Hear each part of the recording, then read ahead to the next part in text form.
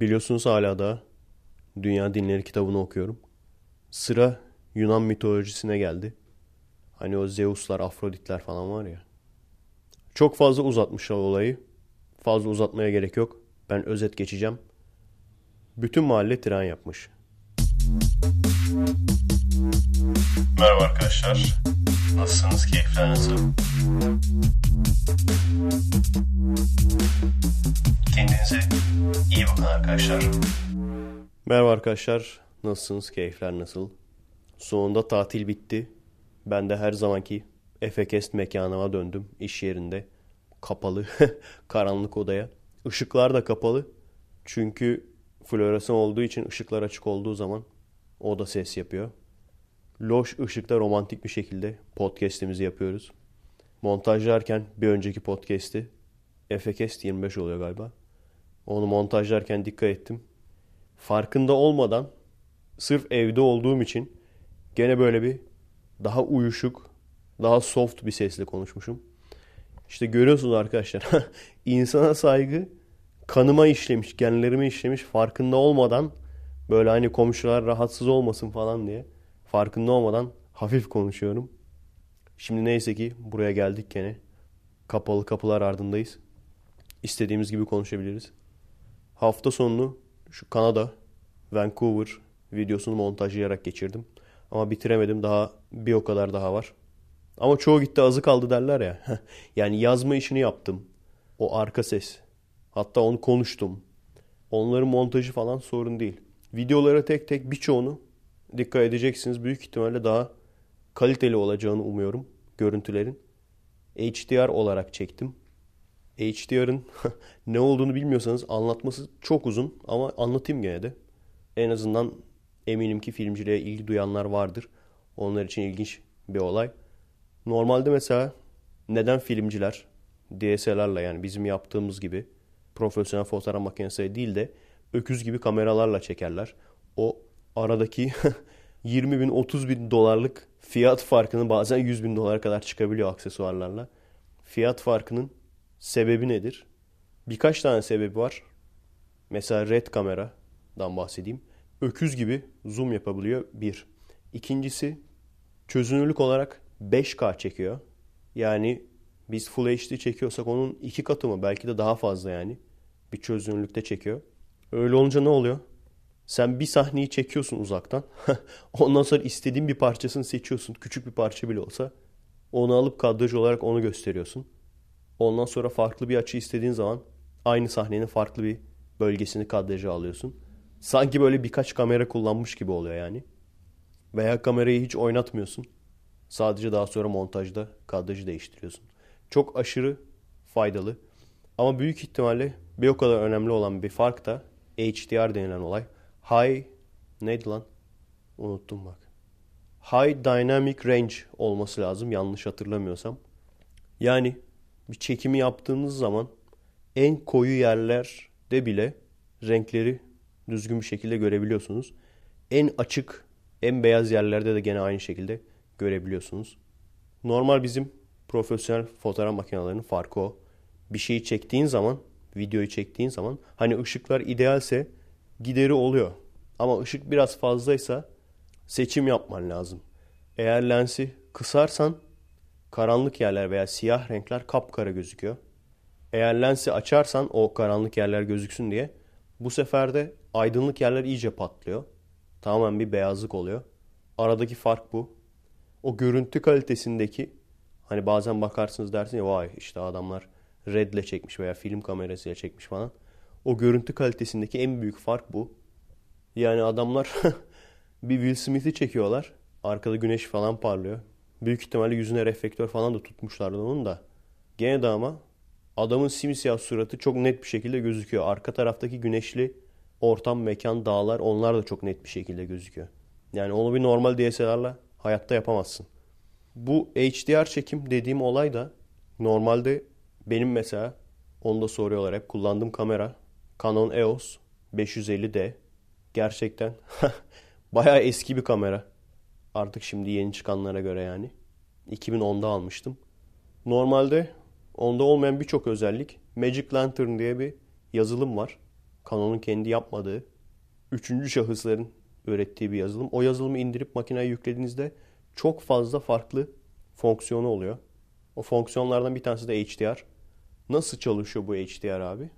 Sen mesela saniyede 60 kare çekim yapmaya getiriyorsun. O saniyede 60 kare çekim yapıyor. Ama bir kareyi karanlık, bir kareyi aydınlık olarak çekiyor. Onu ayarlayabiliyorsun ne kadar karanlık, ne kadar aydınlık olduğunu. Ondan sonra da normalde tabii videoya baktığın zaman pır pır pır pır pır yanıp sönüyor gözüküyor. Ama onu After Effects'te ayarlıyorsun. Yani 2-2 frame'leri ayırıp üst üste koyuyorsun. İşte özet geçecek olursak karanlığı üste koyuyorsun. Sonra karanlığın en karanlık yerlerini silmeyi falan söylüyorsun After Effects'e. Öyle olunca ne oluyor? Gerçekten HDR'a yakın. Yani hem çok karanlık olmayan yani gölge kısımlarını da gözünüzle rahatlıkla görebileceğiniz ve aydınlık kısımların da çok fazla patlamayan gerçekten profesyonele yakın bir görüntü elde etmiş oluyorsunuz. Özellikle güneşli havalarda çok önemli. Vancouver'da yaptığım çekimlerde bazılarında önemli oldu. Çünkü zaten genelde hava bulutlu. Bir şey daha öğrenmiş oldum böylece. Ben hep bulutlu havada çok iyi çekim yapılır diyordum. Ama tabii film için geçerli o veya kısa film için geçerli. Manzara çekeceksen gerçekten daha önce de okumuştum. Okuduğumu da yaşadım. Renklerin doygunluğunu düşürüyor bulutlu hava. Güneşli olmadığı zaman yani. Gördüğünüz gibi her olayın bir artısı bir eksisi var. Gerçekten hani sanat dedikleri kadar var. Biz de hala hata yapıp hatalardan bir şeyler öğrenerek geliştirmeye çalışıyoruz kendimizi. Sonuç itibariyle bunlar için tek tek uğraştım. Bu HDR, After Effects'te videoları HDR yapabilmek için. Hafta sonu biraz da onunla geçti yani.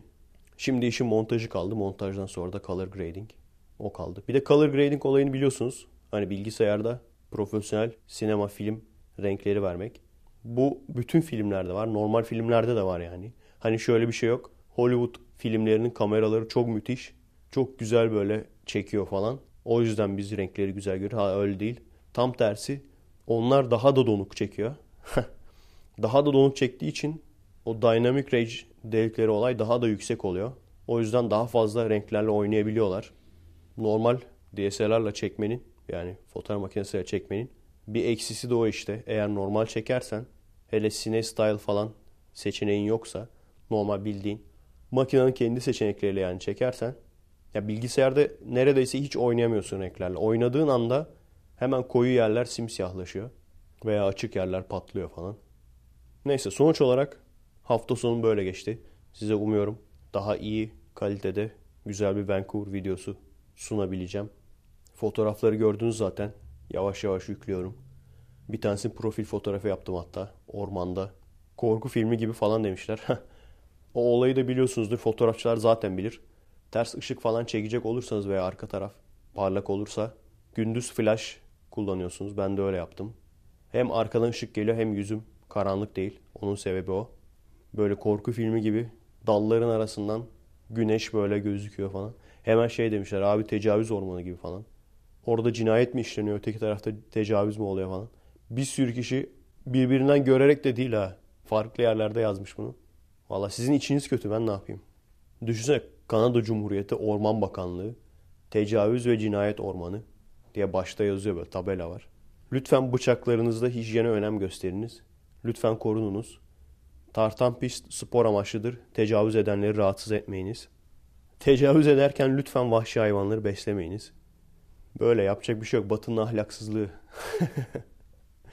Bu arada Batı'nın ahlaksızlığı dedim. İlginç bir olay gördüm Vancouver'da.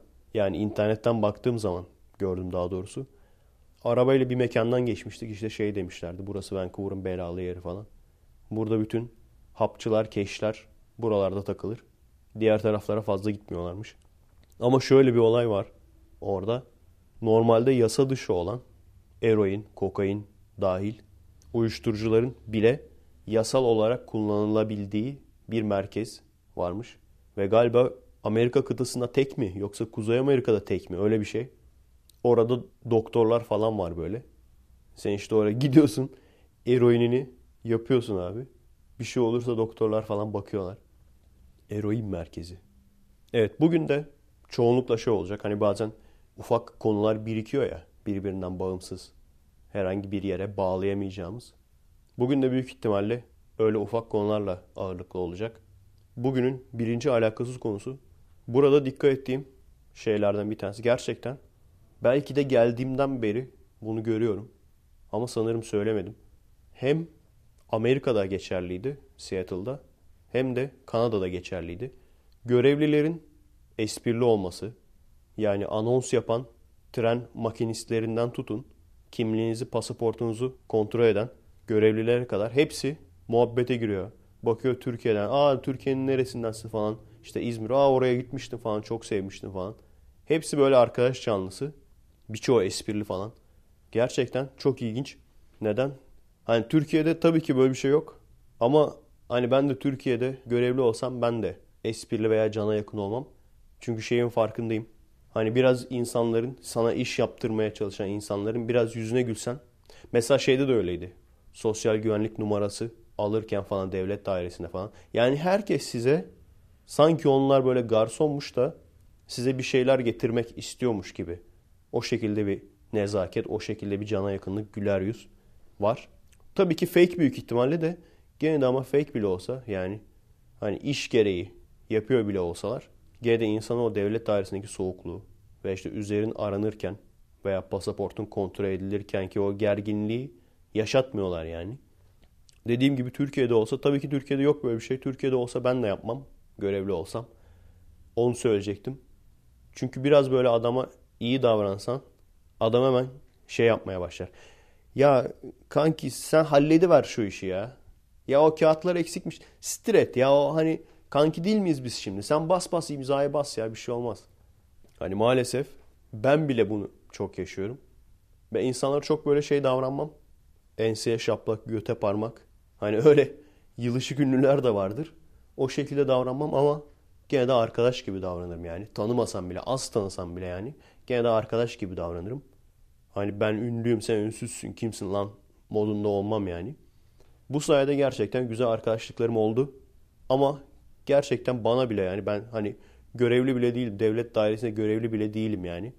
Hani stres, gerginlik yaratacak bir durumum da yok işimden dolayı. Ama gene de bana bile oluyor yani. İnsanlar şey moduna giriyorlar. Ha ben Efe Aydın'ın arkadaşıyım moduna giriyor. Ondan sonra iki gün sonra enseye şapla göte parmak moduna giriyor adam. Ne haber lan yavşak falan diye giriyor böyle. yani yapacak bir şey yok. Buradaki insanlar da fark etti. Türkiye'de de fark ediyorlardı. Özellikle ünlü değilken. Beni hiç tanımayan insanlar yani sadece dıştan gören hep şey diyorlardı sende bir soğukluk var. Böyle biraz sert bakıyorsun falan insanı tedirgin ediyorsun falan diyorlardı.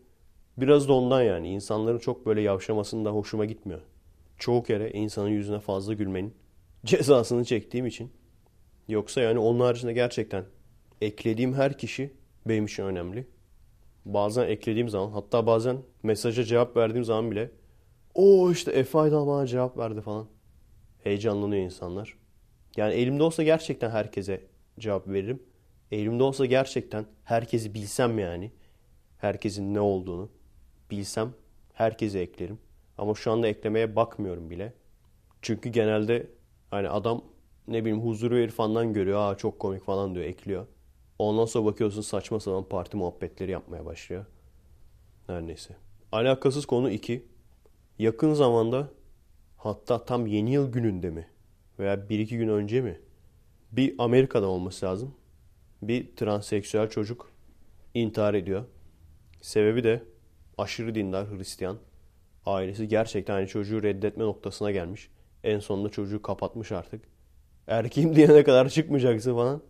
Çocuk dışarıya kaçıp kendini e, kamyonun önüne atmış falan ölmüş böyle.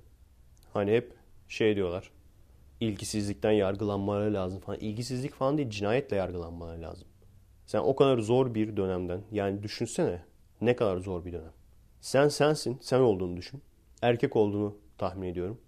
%99.9 olarak şu anda beni dinleyen senin erkek olduğunu tahmin ediyorum.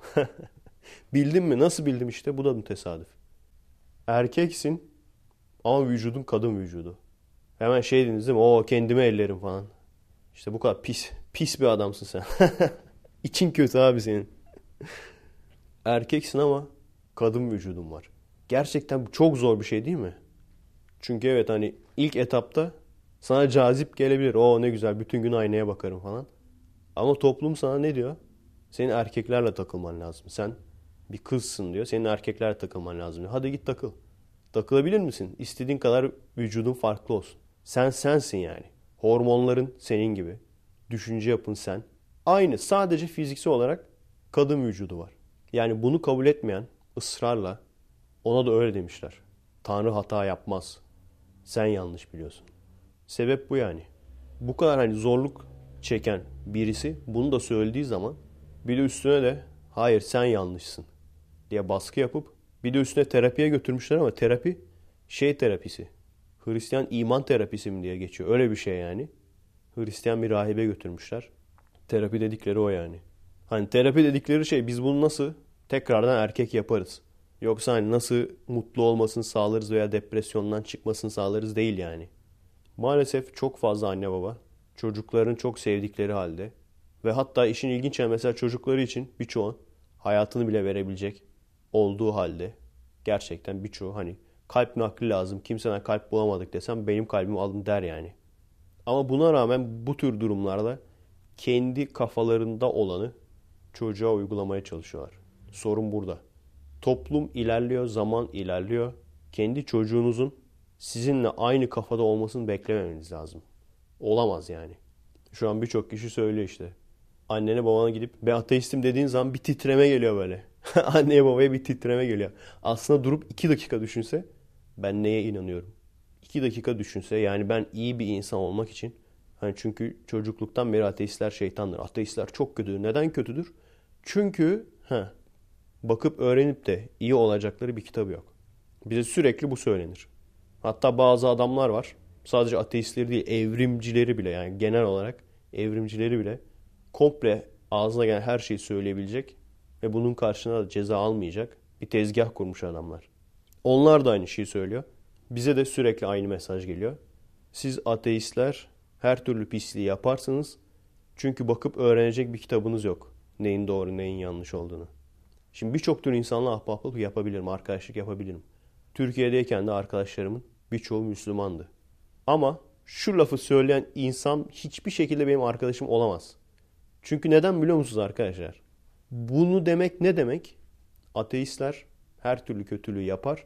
Çünkü onların ahlak öğrenecekleri bir kitap yok. Bu ne demek biliyor musun? Bu adam demek ki o kitaba bakmasa, o kitap olmasa ben yarın komşunun kızına hemen atlarım diyecek. Veya ateist olsam önüme gelene atlarım. Tehlike yani adam tehlike arz ediyor. Diyor ki yani benim korkutulmaya ihtiyacım var. Yukarıdan ateşle korkutulmaya ihtiyacım var. Ben ateşle eğer korkutulmazsam ben direkt atlarım komşunun kızına hiç. Kralını tanımam diyor yani. Kedi, köpek, eşek, Balıkesir'in çılgın eşekleri kim varsa atlarım diyor. Evet konu transseksüel gençten buraya nasıl geldi bilmiyorum ama sonuçta dinin bu tamamen din. Hani iyi yanları var kötü yanları var tartışılır. Bu tamamen din ama. Din kaynaklı bir şey. Eğer bu çocuğun annesi babası dini bir ortamda değil de laik, seküler bir ortamda büyümüş olsaydı o çocuk şu an ölmeyecekti. Bu kadar basit. Çünkü diyeceklerdi ki hani Tanrı hata yapmaz, seni Tanrı yarattı, Tanrı bilemeyecek mi? Ben bazı büyüklerimle konuşuyorum. Evrim hakkında falan, evrim falan anlatıyorum. Direkt kestirip attıkları nokta o. Allah bilemeyecek mi? Hani zaten şunun da farkındayız evrime. Niye saldırıyorlar? Saldırmanın sebebi de o. Hani onu söylemiyorlar. Diyorlar ki hayır dini değil kesinlikle bilimsel. Öyle mi? O yüzden işte şey diyorlar. Herkes normal doğar. Ama işte bazısı tercih kullanır. Tercih olarak kadın olmayı seçer, transseksüel olmayı seçer vesaire. O da mesela gene güzel tartışma konularından bir tanesi. Genel olarak din toplumlara yarar mı sağlar zarar mı? Da güzel bir tartışma konusu. Çünkü mesela düşünecek olursanız dünyanın en güçlü ülkelerinden belki de şu an bir numara sayılabilecek Amerika gerçekten dindar ülkelerden bir tanesi. Ama hala laik. Bir İrlanda falan değil yani.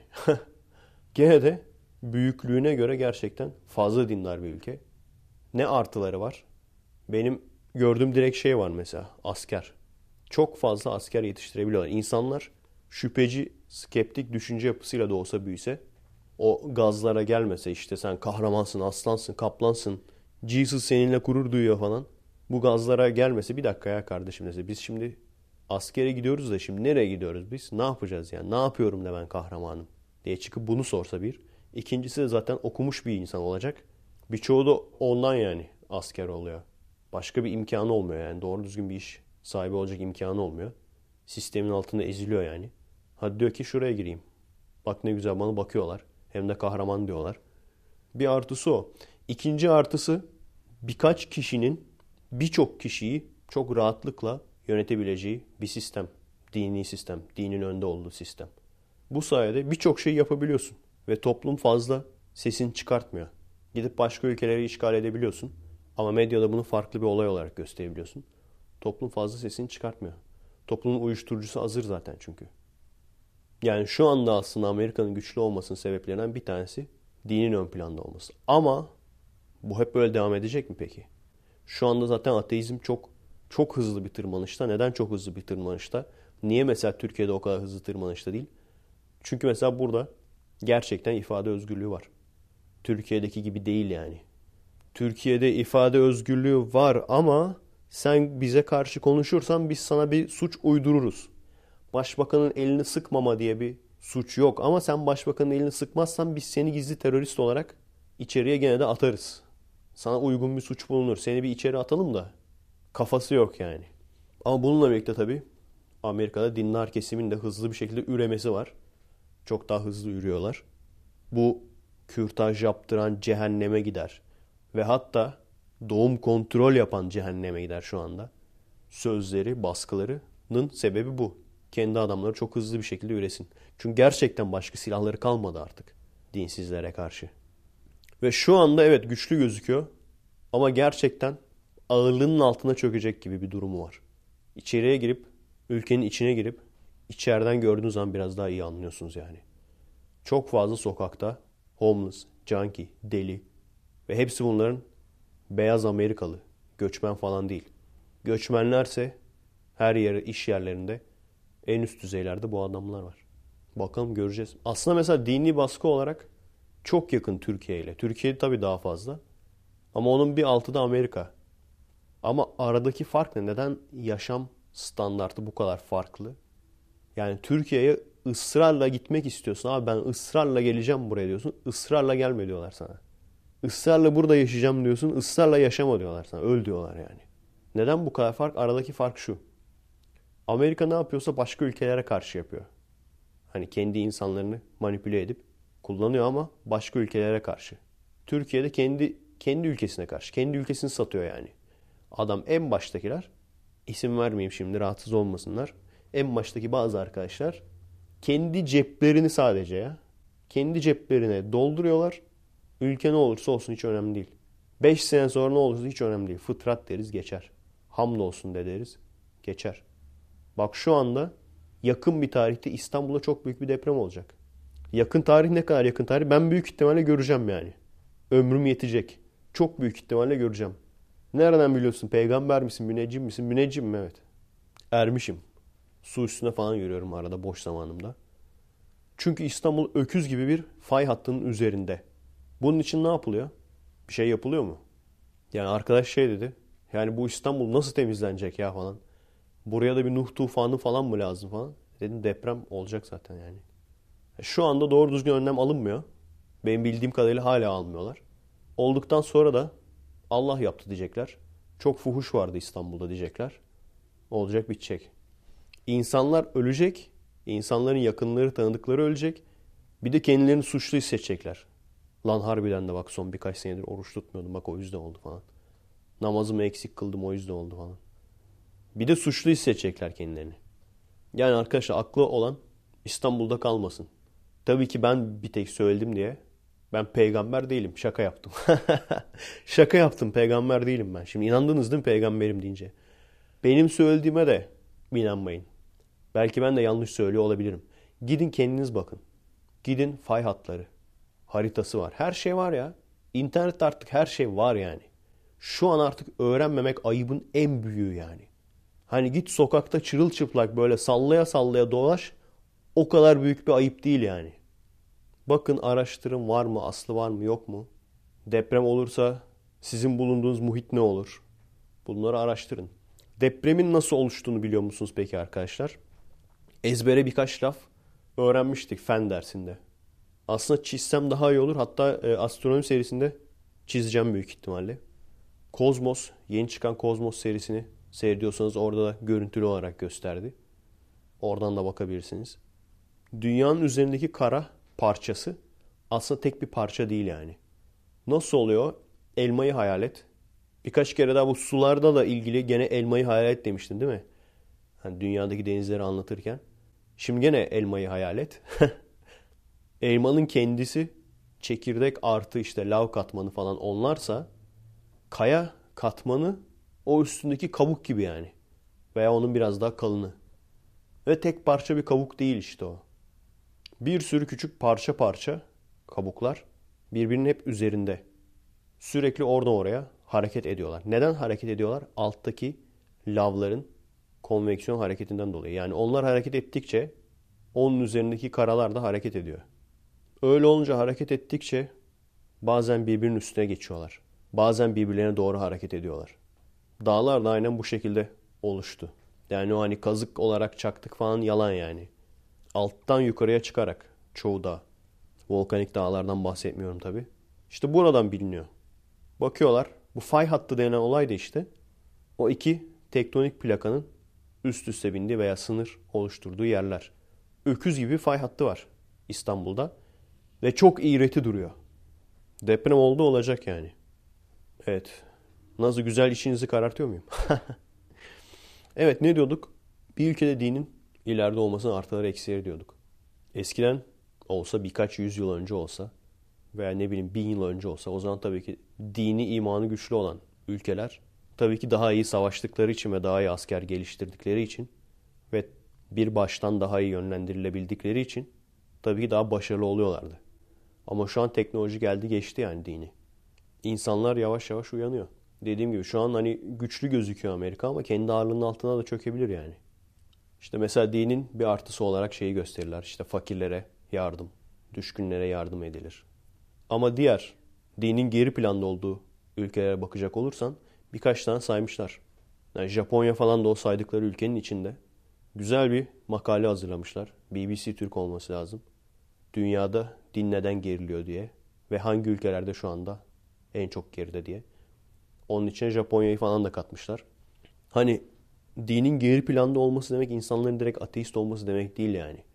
Senin bir geleneğin vardır. O zaman ateistim demezsin herhalde. Ama gerçek dünyaya da bağlantılısındır. Saçma sapan yukarıdan şöyle bir Tanrı şunu istiyor diye. Onu yapmazsın yani. Ya sana zarar verecek bir şeyi yapmazsın. Veya senin gelişimine engel olacak bir şeyi yapmazsın veya bilimde sırf senin kültürüne veya dinine ters düşüyor diye bilimin bazı konularına saldırmazsın. Ve evet ona bakmışlar ve bu tür dinin geri planda olduğu ülkelerde hayat şartlarının ne kadar ileride olduğunu görmüşler. Öyle bir şey de var şimdi. Hani İsveç, Norveç falan da diyorlar ya. Evet dindar ülkelerde fakirlere yardım çok. Para, yiyecek bunları yapıp işte sevap alma olayı çok. Ama diğerlerinde de buna ihtiyaç yok. Çünkü şöyle bir şey var. Yani oturup biraz düşünün. Amerika'da da bu geçerli. Güçlü dediğimiz Amerika'da da geçerli. Güçsüz ama dinin ön planda olduğu neredeyse her yerde geçerli yani. Baştaki birkaç kişi aşırı zengin. Aşırı zengin. Ve çok fazla insan da çok fakir. Ve sürekli bu devam ediyor. Yani sen istediğin kadar yemek ver, para ver. Bu devam ediyor abi. Evet bunu söylüyor işte. Dindar ülkelerde fakirlere yardım çok olur. Ama dindar ülkelerde fakirler de çok. Uçurum çok fazla yani. Ve çıkıp ısrarla hala da doğum kontrol yapmayın.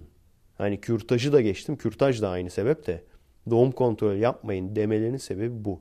Düşkün insana ihtiyaç duyar. Dinin ön planda olduğu ülkeler. Evet bir ateist mesela başbakanın olduğu ülke sanırım Avustralya olması lazım. Ateist bir başbakanları var. Ateist olduğunu söyleyen daha doğrusu. Söylemeden ateist olan başbakan, cumhurbaşkanı kesin olmuştur şimdiye kadar da. Mesela sadece başbakan değil, gerçekten çoğunluğun, alın size güzel bir tartışma konusu daha. Gerçekten çoğunluğun ateist olduğu. Hadi ateisti de geçtim. Ateisti çünkü çok spesifik olarak görüyor insanlar. İşte kesinlikle Tanrı yok diyene ateist denir falan. Hayır. Adı üstünde dinsiz kişi ateisttir aslında. Ama hadi öyle diyelim, dinsiz diyelim. Çoğunluğun dinsiz olduğu bir ülkede ve dindarların azınlıkta olduğu bir ülkede ne olur? Neler olur yani? Bu da güzel bir tartışma konusu. Bir video vardı. Bu Amerika'daki ünlü ateistlerden Richard Dawkins'le falan röportaj yapmış bir arkadaş. Onun da videolarını takip ediyorum. Sağ, sağ olsun arkadaşlar. Şey yaptık, mail attık bayağı bir. Bana cevap geldi o arkadaştan. İşte videolarına falan bakacağız belki bir röportaj ayarlarız falan diye. Ayarlarlarsa güzel olur. Ama genelde yüksek profil kişileri ayarlıyorlar. Bakalım göreceğiz. Denemekten zarar gelmez. Her neyse o da bunu sormuştu. Gerçekten güzel bir soru.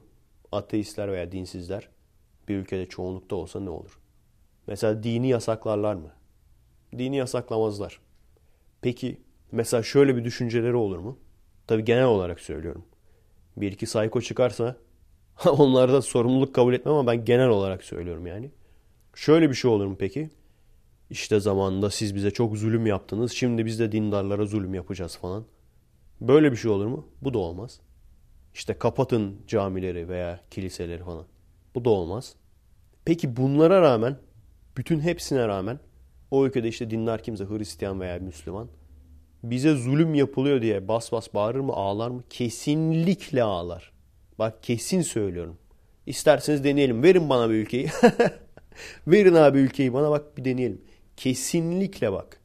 Hani ben diyeyim ki ben Efe Ayda olarak benim partimde, yönetim kadromda ve insan olarak da toplumdaki insan olarak da hep dinsizler çoğunlukta olsun. Ben diyeyim ki herkesi mutlu etmeye çalışacağım. Herkese ortalama bir ortam sağlamaya çalışacağım. Ve buna gerçekten bütün gücümle uğraşsam bile kesinlikle eminim ki özellikle aşırı dinler kesim çıkıp bize zulüm yapılıyor diye ağlayacak. Gene de ağlar yani. En büyük kanıtı daha doğrusu bir sürü kanıtı var. Kanıtlarından bir tanesi Atatürk için söyledikleri. O çok sevdiğim bir böyle müthiş dallama birkaç tane adam var. Müthiş dallama yani. Bu adamları nasıl doğurmuşlar, nasıl bırakmışlar, nasıl özel bunlar okula mı gitmiş, dallamalık okuluna mı gitmiş? Gerçekten hani dallamalık okulu var sanki. Her bir dersine girmiş adam her dersinden pek iyi almış yani. Yalancılık, iftiracılık, işte bölücülük, dincilik. Ulan ya bölücüsün ya dincisi olsun hepsine gireceğim ben. Bölücülük, dincilik, teröristlik. Neyse o arkadaşlardan bir tanesi programda şimdi şey diyor. Siz peki Atatürk Atatürk diyorsunuz ha? O Atatürk'ün ne yaptığını biliyor musunuz? Ne yapmış karşısındaki soruyor. Karşısında da şey vardı galiba. Osman Pamukoğlu olması lazım. Bakın belgeleri var. Ne yapmış? Ne yapmış? Söylüyorum, açıklıyorum. Ne yapmış? Ezanı Türkçe yaptı. Ezanı Türkçe yaptı. Zulüme gel. Ezanı Türkçe yaptı. O da bir şey mi? Osmanlı harflerini kaldırdı. O da bir şey mi? Türkiye'nin adını Türkiye Cumhuriyeti yaptı. Faşizm. Şimdi gidip yemek yemem lazım. Ondan sonra da mesai başlayacak. Yarın devam ederiz arkadaşlar. Keşke söylemeseydim sürpriz olsaydı. Asansör müziğini duysaydınız böyle sürpriz olarak. Sonuç olarak lafı toparlayacak olursak düşünün arkadaşlar. Yani büyük ihtimalle birçoğunuz dinsiz. Beni dinliyorsanız. Gerçekten hani insanlara saygı göstereceğim. Dinlerine, inançlarına, istedikleri yerde ibadetlerini yapsınlar bile deseniz mutlaka bize zulüm yapıyorlar diyecekleri bir kural çıkar. Çünkü olay bu. Olay bu yani. Yani onlara zulüm yapılıyor olması lazım bir şekilde. Bir arada olabilmeleri için. Bir düşman göstermeleri lazım. O düşmanın da bu insanların zulüm yapıyor olması lazım. O kadar çok şey bulurum ki yani şu anda. Mesela okullarda evrimi anlatırız değil mi? Okullarda evrimi anlatmamız bu insanlar için zulüm olacak. Zulüm kabul edecekler. Yani şöyle bir dünya olamaz. Canı isteyen evrimi okuması falan. Böyle bir dünya olamaz yani. Benim yönettiğim ülkede. Ben insanları keyfi olarak cahil bırakamam yani. Gerçek neyse ben size onu söyleyeceğim. Sen kabul etmiyorsan, farklı bir şey düşünüyorsan onu da araştırıp bulacaksın. Başka mesela şuna zulüm derler. Vergilerden imam maaşı, insanların vergilerine imam maaşı vermeyiz değil mi? Deriz ki bu iş hayır işi mi? Hayır işi. O zaman sen hayrını yap. Canı isteyen de sana versin para. Sanırım ABD'de böyle. Ve şu an ABD'de şeyi tartışıyorlar. Bu şekilde insanlar bağış yapıyorlar ama bu bağış vergiden muaf, vergiden muaf olmalı mı olmamalı mı onu tartışıyorlar. Lan bizim vergiyi zaten adama veriyorlar. Bizde vergiyi zaten maaş olarak veriyorlar yani. Mesela tabii ki bunu da yapmayız. O zaman gene ne derler? Bize zulüm yapılıyor. Yani hemen aklıma gelen bak bir iki örnek. Daha düşünsen neler çıkar yani. Mesela yine din derslerinde tek bir dinin üzerine yoğunlaşmak yerine her dini insanlara anlatmak ve objektif bir şekilde anlatmak. Şu dinin inanışına göre şöyle yaratılmıştır, bu dinin inanışına göre böyle yaratılmıştır. İnsanların gözünü açmak. Buna da gene aynı şekilde zulüm derler büyük ihtimalle. Veya dinin zorunlu olmaması, din dersinin seçmeli ders olması. Yani adamlar Latin harfine zulüm diyor. Latin harfinin gelmesine zulüm diyor. Diyor ki bir gecede cahil kaldık. Sanıyorsun ki adam Einstein. Yani belki de sorun odur arkadaşlar bilemeyiz yani. Şimdi bak Latin harfleri değil de Osmanlıca'ya çevir sen bu kitapları. Göreceksin bak bütün kahveler falan kitap okuyan adamlarla dolacak. Evet. Sohbetimize yarın devam ederiz arkadaşlar. Asansör müziği girsin.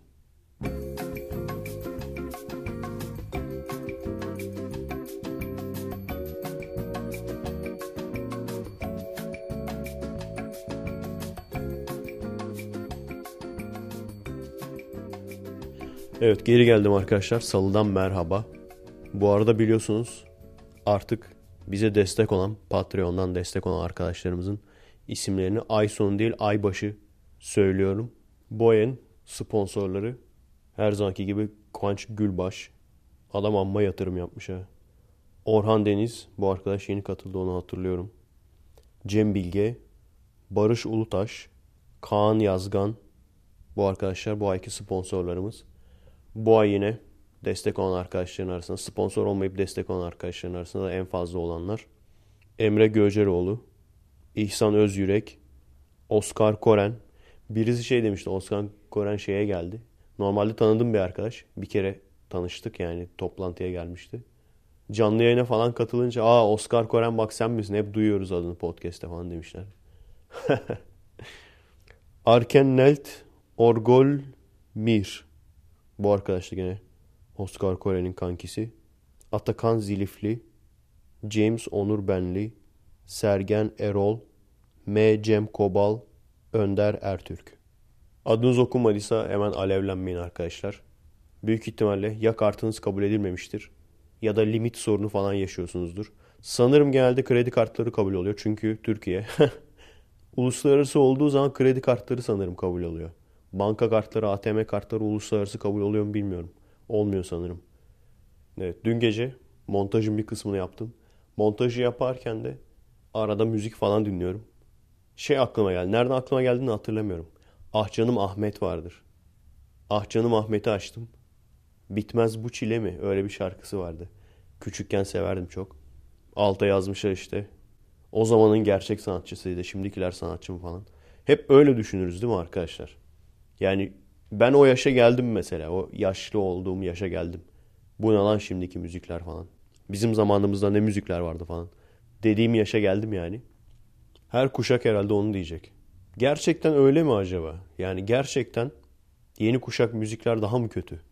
Bir kere ben şunu fark ettim. Öküz gibi artık öküz gibi kapitalizme bağlamış adamlar. Çünkü eskiden bir kaset sattırma olayı falan vardı.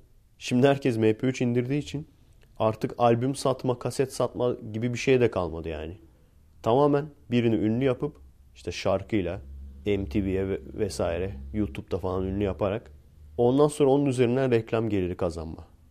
Konser, reklam geliri.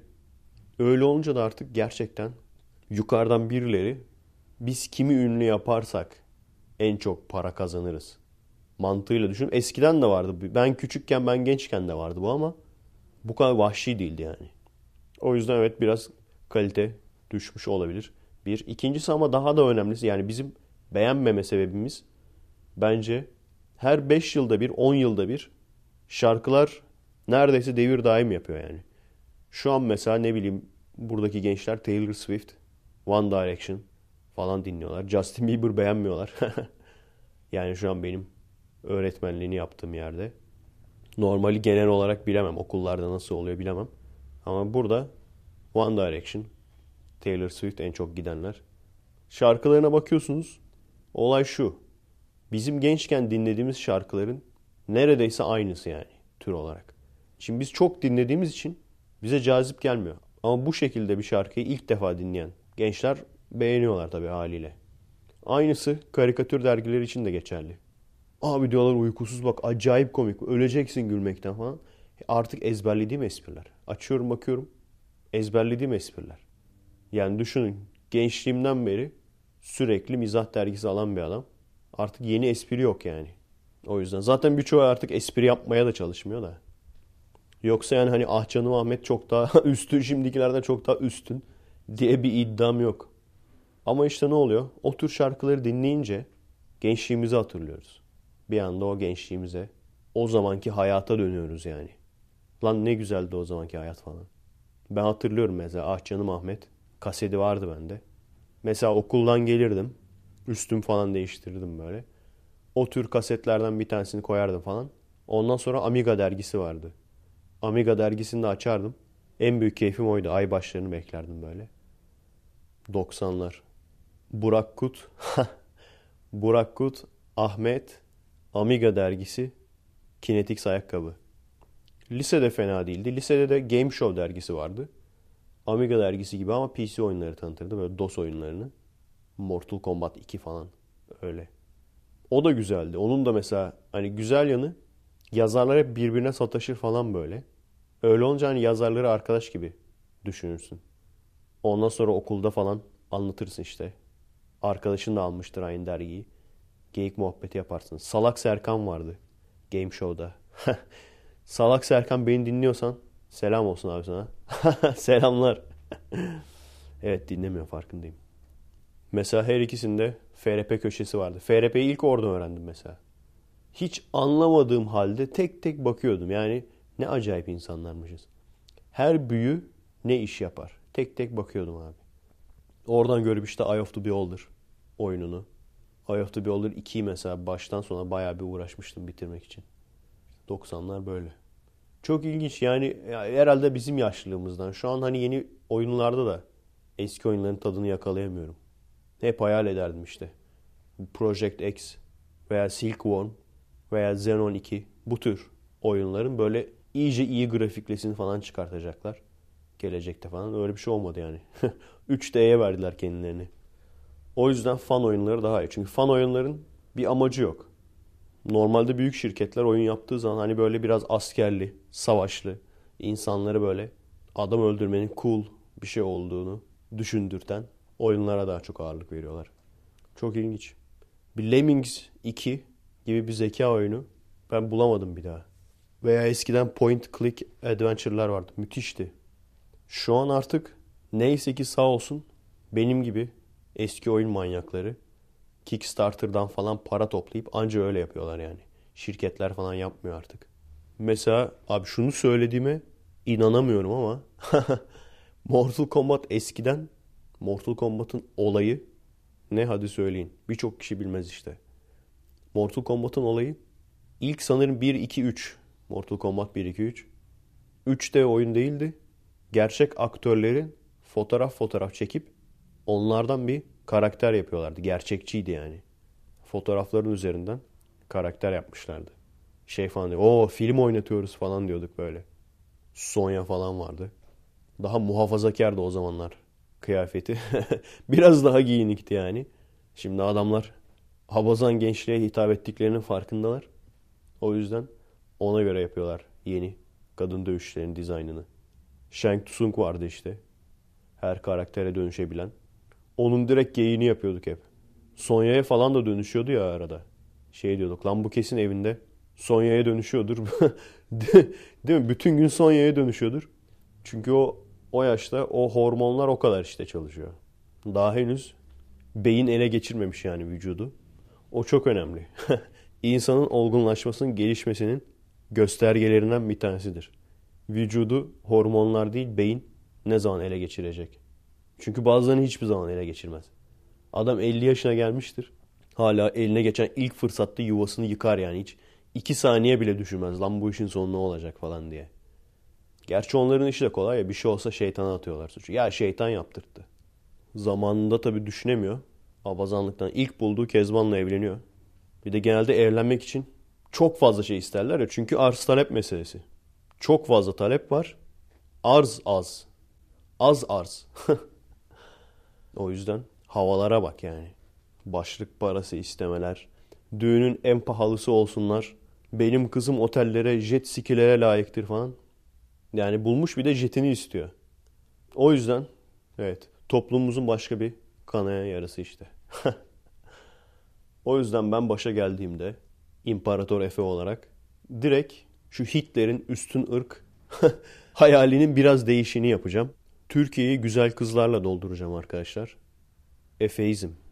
Biliyorsunuz bir izim sallayıp hiç olmayacak ütopik şeyler söyleyebilirsiniz. Ondan sonra da olmayınca da ya işte ülkeler uygulayamadı falan dersiniz. O yüzden en iyi yönetim şekli efeizmdir. Ama ülkeler uygulayamıyorsa onu bilemem. Efeizmde herkes güzel olsun. Nasıl yapacağım bunu? Hep gençken, ortaokul, lisedeyken falan düşündünüz bilmiyorum. Biz düşünmüştük. Nerd takımın abazanları böyle oluyor. Bu şekilde düşünüyorlar. Kafa yapısı böyle oluyor. Merak ediyorsanız söyleyeyim. Mesela birkaç kardeş oluyordu. Kız kardeşler. Hepsi güzel oluyor tamam mı? Lan diyorduk bunların annesinin babasının çok iyi geni var. Yap işte devlet yapsın bunlara yardım. Alsın bunların yumurtasını. Hani hamile gezmesine de gerek yok. Alsın abi yumurtasını. Bassın ondan sonra piyasaya 10 tane 20 tane. Hadi o olmadı. Topla o güzel kızların hepsini. En böyle artık civlop yani. Tüysüz artık benden kıllı kız görmek istemiyorum. Çünkü insanlar artık o kadar saldı ki kendini. Hani nasılsa her halükarda ben birini bulurum diye. Sokakta çok sap erkek var. Nasılsa birini bulurum diye. O kadar saldı ki kendini insanlar. Ne kadar on numara kız hatun varsa bir kere onları alacağım. Ondan sonra babaları olarak da böyle Tansa Türk gibi böyle şey yani hani na, nazik, e, ılı, ılımlı, ılımlı insan yani. Hani ılımlı İslam vardır, ılımlı insan da var yani. Kibar. Babalar da öyle olacak. Bunlardan böyle seri üretim kız çocuk yapacağım. Ondan sonra piyasaya süreceğim. Ondan sonra bakalım bu kadar naz yapabiliyorlar mı? Piyasayı öldüreceğim yani. Ne oluyor? Mesela sıkıntımız ne bizim? Şimdi mesela o kardeşler dedik değil mi? Kızların hepsi güzeldi falan diye. Ne oluyor? Ondan sonra gidiyorlar. Her biri zengin bir burçoyla evleniyor. Ne oldu? DNA'nın ağzına sıçtınız. Sıçtınız yani. DNA MNA kalmadı. Ya görüyor musun işte? O biyoloji öğrenirken bunlar gerçek hayatta ne işimize yarayacak? Al bu işine yarayacak işte. Bir Almanlara bak Über Alles. Bir bize bak. Adamlar dersini çalışmış işte. evet. Şaka yapıyorum arkadaşlar. İnanıp da gidip ekşiye yazmayın olsa. Efe Aydal'ın böyle planları varmış. Yok öyle bir şey.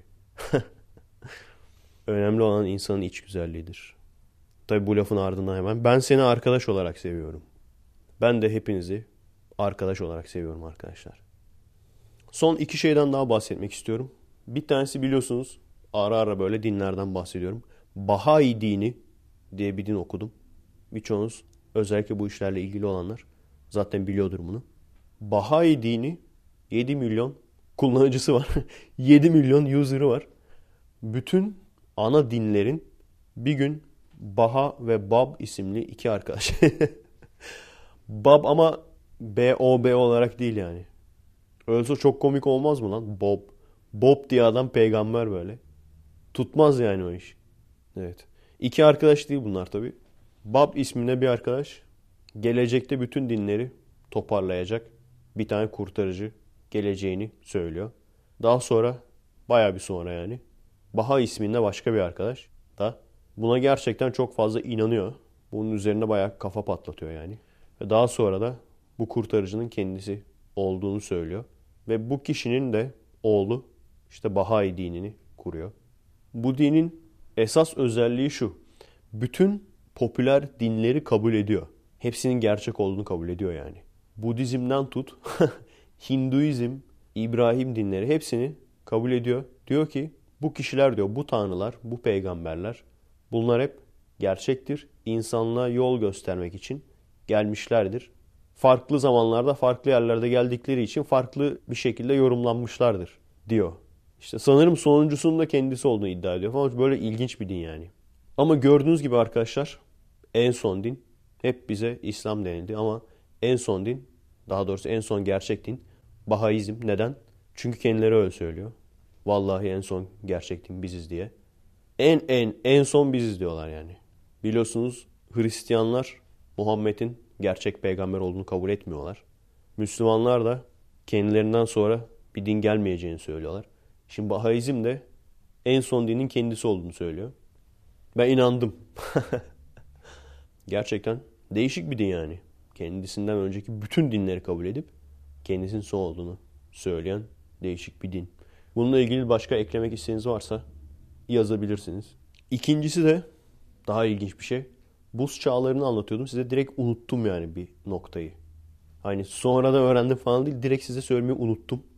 Amerika kıtasında deve kemikleri buluyorlar. Ve develerin Amerika kıtasında evrimleştiğini buluyorlar. Desem çok acayip değil mi? Çünkü deve dediğin çöldedir yani. Peki buraya nasıl gelmiş? İnsanlar ilk Amerika kıtasına nasıl geldiyse aynı şekilde. Şu anda söylenen buz devrinde gelmişler. Çünkü buz devrinde sürekli daha önce de söylemiştim ya okyanuslardan hani ilk ben şey sanmıştım buz devrine geldiler diye hani okyanusu buz tuttu falan sanmıştım. Öyle üzerinden yürüdüler falan sanmıştım. Sanırım öyle değil. Okyanustan sürekli su çekildiği için çünkü su çekiliyor daha sonra gidiyor buzulların üzerine yağıyor. Orası buz oluyor. Sürekli bu şekilde su çekildiği için bir noktada artık o Rusya'nın olduğu yerle Amerika kıtasının arasında okyanus vardır ya. Orası çekiliyor iyice ve yürünecek bir hal alıyor. Ve ilk olarak bu şekilde göçüyorlar Amerika kıtasına. Yani Amerika'nın gerçek keşfi bu. gerçek Amerika'nın keşfi. İşte ilk etapta mesela şey demişler. Belki de demişler çok böyle ilkel bir gemi veya bot gibi bir şeyle zar zor da olsa bir şekilde gelmeyi başarmış olabilirler gibi bir düşünceleri varmış bilim adamlarının. Ama daha sonra işte deve kalıntıları bulmuşlar. Tabi develerle mi geçtiler oraya? Çünkü Amerika kıtasında evrimleşti develer deniyor. Ona ayrı yatan bakacağım. Zaten merak ediyordum. Hani develerle mi oraya geçtiler yoksa oraya geçip oradan işte deveyi bulup alıp geri mi götürdüler? Ona bakacağım. Bu da bir merak konusu. Evet. Genel olarak bugünkü konular bu kadar. İlginç bir şey daha size söyleyeyim. Gene Vancouver'da fark ettim. Şu an oraya gittiğimizde Roman bir ailenin yanına gitmiştik. Daha önce başka zamanlarda da görmüştüm. Şu şey geleneği var ya. Annelerin fön çekme geleneği. 50 yaşından sonra çok değişik saç stillerine verirler kendilerini anneler. Hani ben öyle saç yapsam beni okula almazlar normalde. İyice basarlar fönü. Bilmiyorum onların zamanında acaba hani o güzel olarak mı kabul ediliyordu? Bilmiyorum. Her neyse burada da gördüm. Roman ailelerde de var aynısı. Sadece bizde değilmiş, Türklerde değilmiş. O da ilginç bir tecrübe. Fön abanma geleneği annelerin. Her devrin işte güzel kabul edilen şeyi farklı. Bize şu an gerçekten ilginç geliyor. Bizim zamanımızda da şey derlerdi. Ya şimdiki gençler bir acayip blue jean giyiyorlar. Kendimizi böyle çok aşmış, ilerlemiş falan kabul ederdik. Kot pantolon giyerek. Oo eski kuşak ne bilecek bunu ya? Bak biz blue giyiyoruz. Şu an hiç giymiyorum bile kot pantolon. Kot pantolon ne lan? Dünyanın en rahatsız kıyafetini bize yedirdiler ya. Gerçi bu üzerimdeki de kot sayılabilir. Öyle değişik bir şey çıktı şimdi denim diye. Kottan farklı herhalde ya. Çünkü kot gerçekten çok rahatsızdı. Şu an bu giydiklerim biraz daha rahat. Ben zaten Türkiye'deyken full bol pantolon giyerdim. Belki bu kışlık versiyonunu bulur alırım. Bol pantolona dönüş yaparım. Evet. Ha bir şey daha aklıma geldi. Kaybedenler Kulübü filmini seyrettim. Biraz sıktı o yüzden atlaya atlaya seyrettim. Yanlış anladıysam düzeltin. Adam Kaybedenler Kulübü'nün başkanı değil mi o? Filminin böyle başrol oyuncusu ama Ahu Türkpençe'yi götürüyor. Nasıl bir Kaybedenler Kulübü abi o? Ben mi yanlış anladım? Yani o Kaybedenler Kulübü diye programı yapan adam değil mi Ahu Türkpençe'yi götüren? Bilmiyorum fazla mı atladım acaba? ne oldu? Başka filme mi geçtik yani? Neyse yani o adamlar da artık kaybedenlerse yani biz benim gençliğim ben düşünemem. Biz ölelim o zaman yani. Ben gençken, üniversitedeyken falan öyle bir film seyredeceğim. Neyse ki yoktu yani benim zamanımda. öyle bir film seyredeceğim. Adam diyecek ki ben kaybedenler dedim falan filan. Ondan sonra bir bakıyorsun adamın kucağında ah Türk bence. Ne oldu abi? Nasıl oldu o iş? Nasıl bir kaybetmek bu yani? Neyini kaybettin? Veya sen kaybedensen biz neremizi kaybedelim? Kafayı vururdum yani taşlara bak. Evet. O dönemde yani benim genç olduğum dönemde öyle bir olay vardı biliyor musunuz? Kendini ezik olarak gösterme hevesi. Kendi kendine ezik demek yani. Ben eziyim. Hiç yoktan işe yarardı kızlar üzerinde. Hani bir avturk pençe olmasa bile gene en azından ay yazık falan diye sana ilgi duyan çıkardı yani. Bilmiyorum hala kaldım kalmadı herhalde değil mi? Şu an daha böyle arabesk rap style'a insanlar var. Bizim nerd kesimden veya bizim kampüsçü gençlik kesimden kaldı mı öyle? Hala da ben eziyim falan ayağı yapan. Yapmayın arkadaşlar hiç gerek yok. Gerçekten ezik olduğunuzu düşünürseniz bile yapmayın. Çünkü sadece kendi kendine ezik diyen insan eziktir. Bırakın o işi arabesk rapçiler yapsın yani. Evet kendinize iyi bakın arkadaşlar. Adresimiz youtube.com bölü kommek, twitter.com bölü kommek, destek olmak isteyenler için patreon.com bölü Efe. Beğendiğimiz videoları ve podcastleri paylaşmayı unutmayalım. Podcast'ime bir freestyle arabesk rap parçasıyla son veriyorum. Geçen gün bakkala gittim. Bakkal bana ekmek vermedi. Sen çok zavallısın dedi. Zaten kızlar da beni sevmiyor. Lanet olsun ateşten gömlek giydim. Sürekli birileri dövüyor, dayak yiyorum. Çekiç gibi belalar kafama vuruyor. Hayat bir yük gibi üstüme abanıyor. Ben ne kadar zavallı bir insanım. Allah benim belamı versin inşallah. Niye ben bu kadar aciz bir evladım? İki elimle bir. Merhaba arkadaşlar. Nasılsınız? Keyifler nasıl?